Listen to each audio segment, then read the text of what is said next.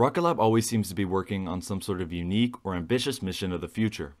With such frequent launches thanks to Electron, almost every week the company gives us a new update on the next mission. This week was no different as they released more information on the upcoming launch meant to help remove space debris from Earth's orbit. Just a few days ago, Rocket Lab announced that progress for this mission was coming along, with the satellite currently in the clean room at astroscale. Specifically, the mission aims to explore the ability to remove satellites and space debris from orbit at the end of their operational life. With some success, the initial mission, launched on top of Electron, could be the start of a more sustainable space environment. The mission is a partnership between Rocket Lab and Astroscale Japan. Rocket Lab is providing the launch service from Launch Complex 1, and Astroscale is providing the space debris removal satellite, which is part of a bigger contract with JAXA. Here I will go more in depth into the goal of this mission, how it works, Rocket Lab's importance, and more.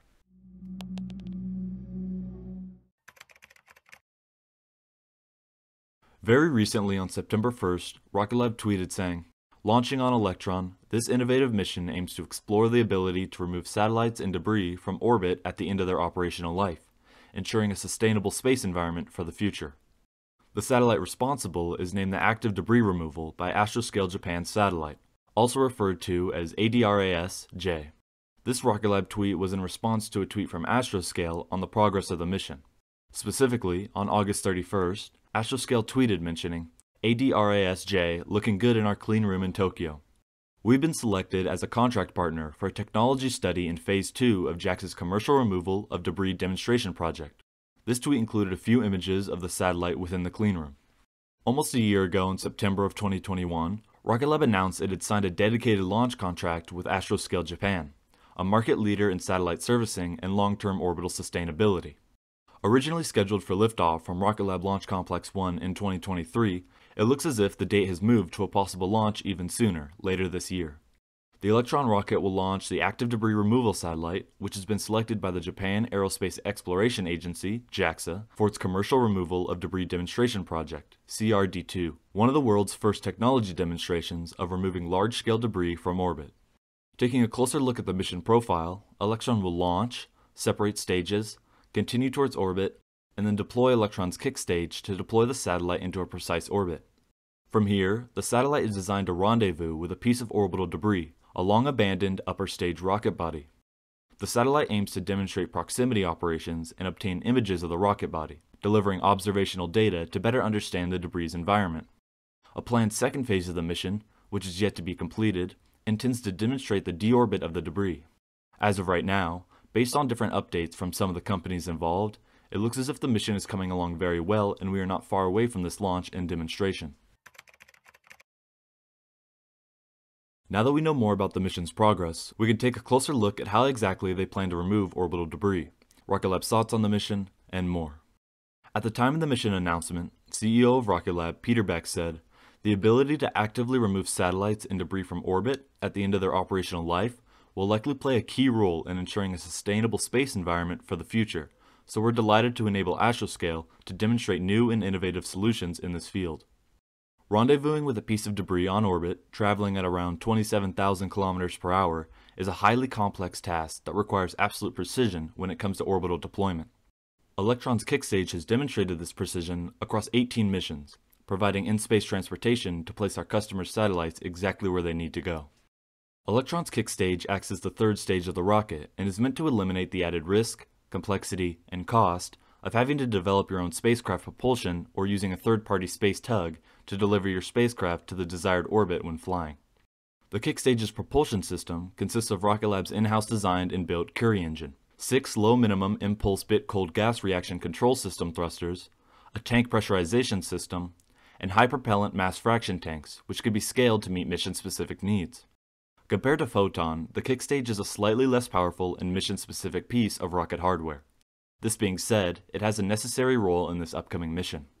In addition to Peter Beck's thoughts, Nobu Okada, founder and CEO of Astroscale mentioned, reliable and commercially viable launch vehicles, like Rocket Lab's Electron rocket, enable frequent and flexible access to space, allowing us to advance our on-orbit services, which are fundamental to the growth of the space infrastructure and economy.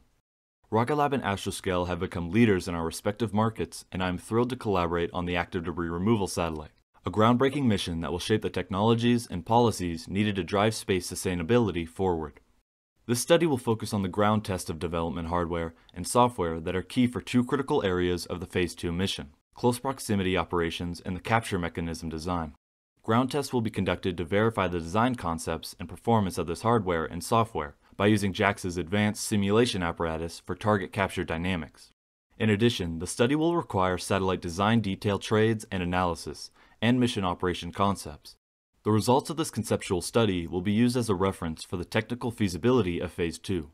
Participating in this study is a necessary step to be considered by JAXA as the satellite and mission provider for the CRD2 Phase 2 mission. However, before any of this happens, the first and upcoming mission, a part of Phase 1, needs to be completed successfully. While this is quite a unique mission, it's not the first time Rocket Lab has worked with a company trying to remove space debris. Just a few months ago, on the company's There and Back Again mission, they deployed AuroraSat-1. The mission was a demonstration of the company's proprietary propulsion devices and plasma brakes that provide efficient propulsion and deorbiting capabilities for small satellites. The CubeSat will validate the water-based propellant and mobility control of its resistojets that can assist CubeSats with detumbling capabilities and propulsion-based attitude control.